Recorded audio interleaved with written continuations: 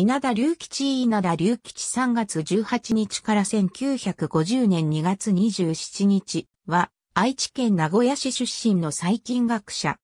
九州帝国大学医学部第一内科初代教授、恩師、財団母子愛育会愛育研究所初代所長を歴任。東京大学名誉教授、医学者。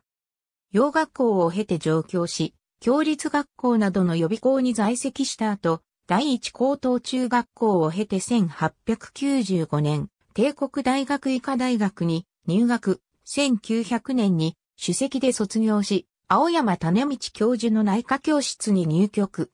1902年からドイツに留学。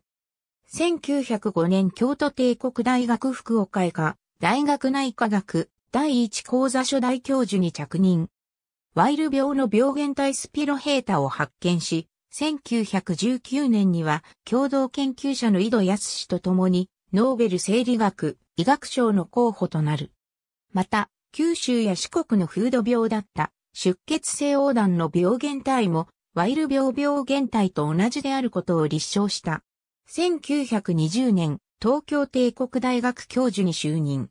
1928年、帝国学士院会員。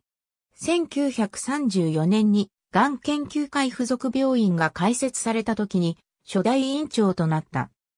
1938年には、恩師財団母子愛育会愛育研究所の会所に、伴いその初代所長に就任し、日本の児童と母性に関する研究の発展に尽力した。